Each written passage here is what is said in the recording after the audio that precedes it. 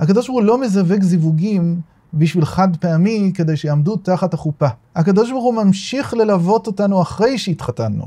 זה לא שפעם אחת עמדנו תחת החופה, ושם הוא היה השותחן המרוצה, הנה עשיתי עוד זוג. כי זוג כזה, שהקדוש ברוך הוא לא ממשיך ללוות אותם, הוא בסופו של דבר ישבור אחד לשני את הידיים ואת השיניים. לא יוכלו לחיות ביחד, כי איש ואישה זה באמת שונה, וזה צריך הרבה הרבה מאמץ כדי לחבר אותם. שמתחברים לצד של הנשמה שבהם, כמו שאמרנו שהנשמה היא זכה וטהורה. כשאדם מתחבר לנשמה שבו, הוא מרגיש שהקדוש ברוך הוא מחזיק את הנישואין שלו ביחד. זאת אומרת שכשהוא מאיר פנים לאשתו, היא מאירה לו פנים. איפה זה בא? בגלל ששניהם מרגישים לא שמישהו שידך אותנו, שהקדוש ברוך הוא חי פה בבית הזה. לחיות פה בבית הזה בא ואומר שהנישואין שלנו, יש להם מטרה גבוהה. אנחנו לא רק חיים מתוך מחויבות זה לזו, אנחנו חיים כדי להגשים, להוריד למטה את השכינה, שהשכינה תהיה בתוך הבית הזה.